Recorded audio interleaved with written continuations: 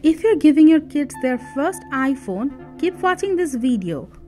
We will give you some tips and tricks for how you can make sure the iPhone is more kid friendly. Let's check it out. First, you can create an Apple ID for your kid. To do that, open Settings, tap on your name banner, tap Family Sharing, tap Add Family Member, tap Create a Child Account, tap Continue. Now fill up all the information and set it up. Now, after you set up the Apple ID for your kid, you can download some kid-friendly apps. There are some kid-friendly options for popular apps like YouTube and Messenger. You can get like the YouTube Kid and Messenger Kid. Download them and set it up instead of giving them Messenger or real YouTube. Now set up Face ID and passcode so your kids' content can stay protected. You can add two face IDs in your iPhone 12 so you can make sure to add your and your kid's face in it.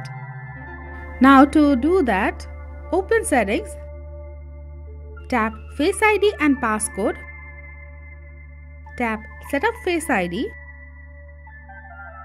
tap Get started, scan your face, tap Continue, again scan your face, tap Done, enter a passcode Verify it. You can add another face by repeating the process. Turn on Find My iPhone. Make sure to turn on Find My iPhone so you can check out your kid's location or if they ever lose the phone, it could be found.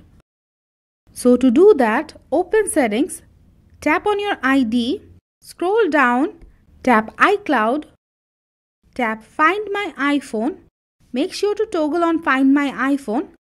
Now toggle on Send Last Location. Set up screen time on your iPhone so you can manage your kids' activities, restrict unwanted activities, and also other parental control.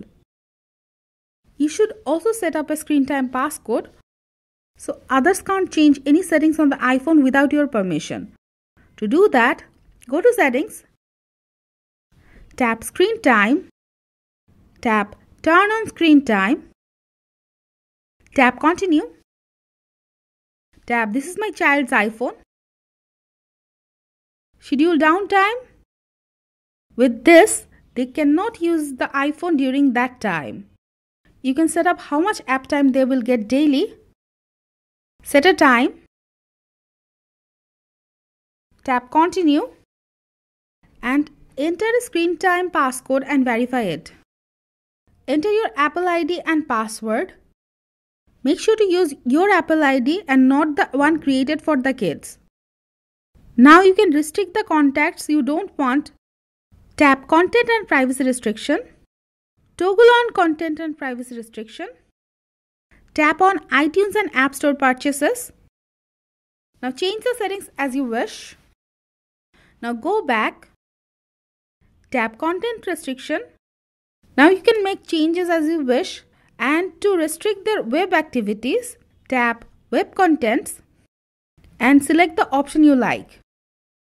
You can make sure they can only access the websites you allowed by selecting the allowed websites only.